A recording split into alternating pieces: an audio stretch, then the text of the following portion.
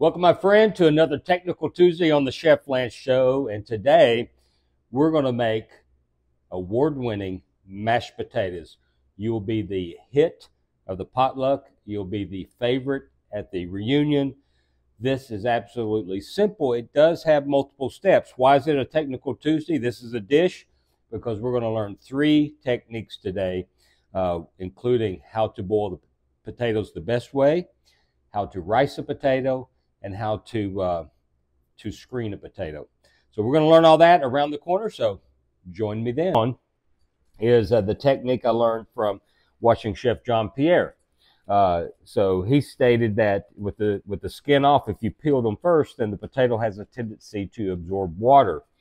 And what we don't want to do is have a watery potato. We want the potato to absorb the cream and the butter. Here we go with this, and I'm going to bring it back around when it's uh, time to peel these. See you around the corner. All right, kids, we are ready. Uh, these potatoes have, are cooked and they've been drained, but they're still incredibly, incredibly hot. So I'm going to use my paring knife, and I'm just going to start by make a little slit right here. Then I'm going to start peeling the potato just like that. The skin will come off very, very easily. Oh, I love Yukon Golds.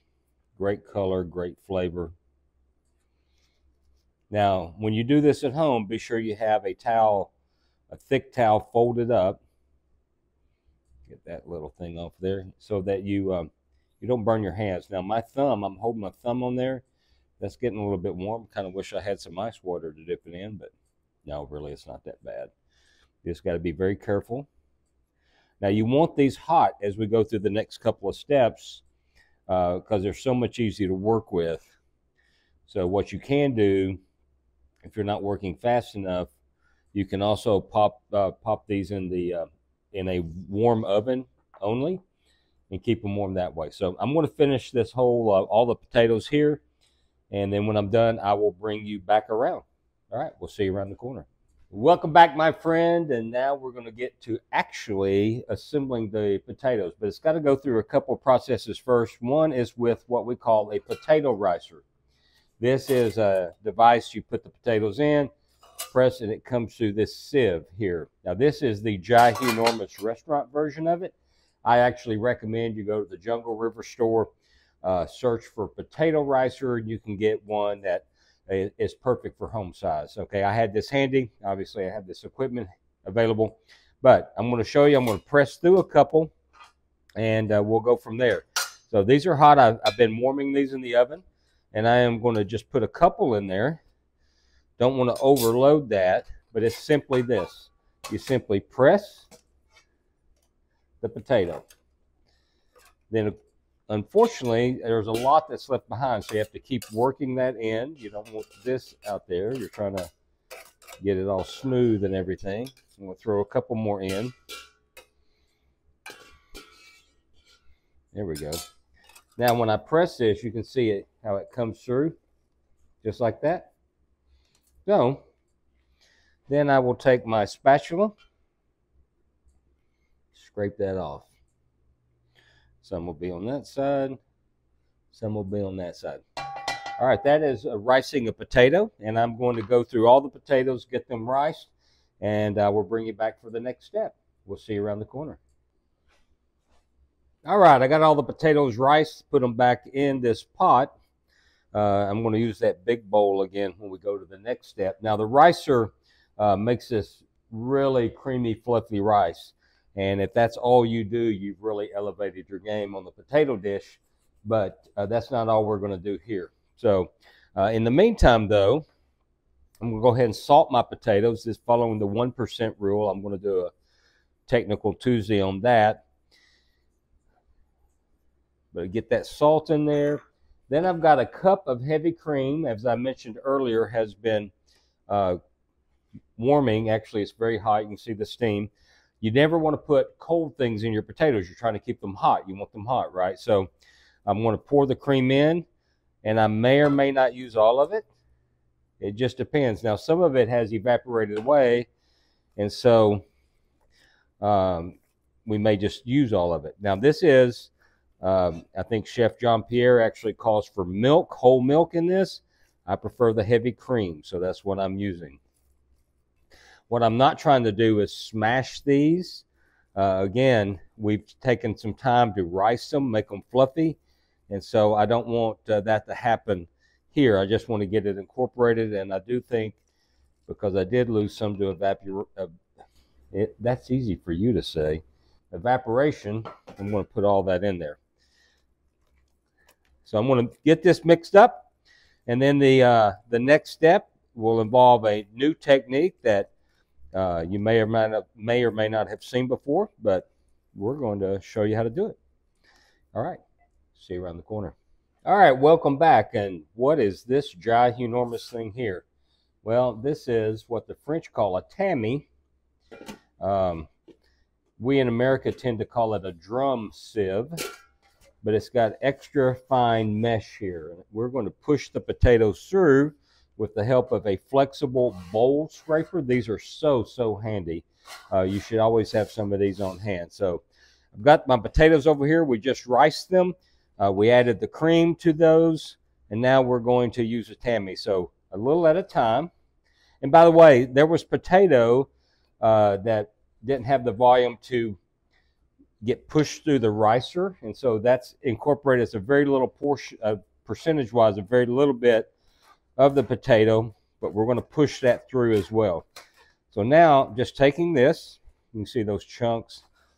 So most of this is rice, but a little bit of it still is going to get worked right here. Another reason why the ricer is only one step.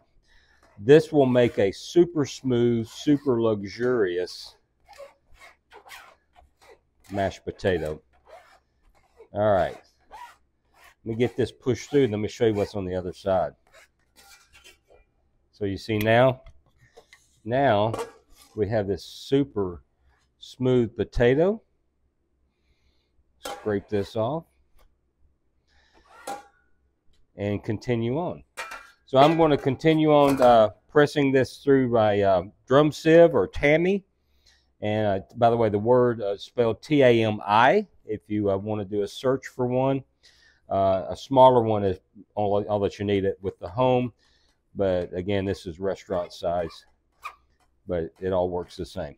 Okay, I'm going to finish this up, and then when I do, I'll bring you back around and we'll uh, finalize our potatoes. All right, welcome back, my friend, and one of them hot to uh, to receive the butter. And so that's what I'm going to do now. Now, remember the potatoes I've seasoned already with the salt based on the 1% rule. And now I'm going to add just a little bit of black pepper and we'll adjust that, maybe add more later if we need it. And what I have here, it, all total, is a pound and a half of butter. I'm using European butter, which has an extremely high fat content, um, about 82% actually. So, uh, bakers love using this butter as well. So now I'm just going to incorporate, that, easy for you to say, incorporate this into the, uh, the, oh, these things are so smooth. Listen, uh, and here's another thing. By the way, don't use melted butter for this. You literally want to emulsify the butter into the potatoes.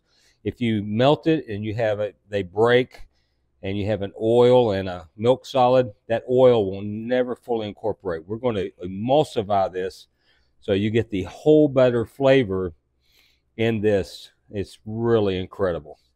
So I'm just telling you, I, the texture of these are unbelievable. I, and I haven't even tasted them yet. I'm just talking about just working them. All right, so that's uh, a quarter of a pound in there. Here's the next quarter of a pound. So I'm going to get this done. And then when I bring you back, we're going to adjust the seasoning.